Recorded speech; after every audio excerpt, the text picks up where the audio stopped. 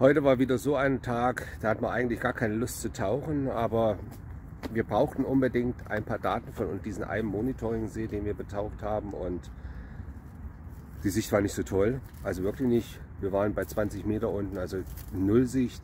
Ab 3 ging es so ungefähr, aber wichtig war eben, dass wir die Daten erfasst haben. Und was wir bekommen haben, ist alles hier drin. Das werden wir noch analysieren. Ja, alles zum Wohle der Wissenschaft.